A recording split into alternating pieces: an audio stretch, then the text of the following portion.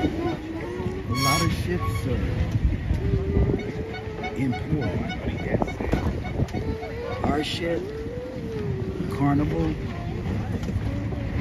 and I don't know who that is over there, but it's two big ships.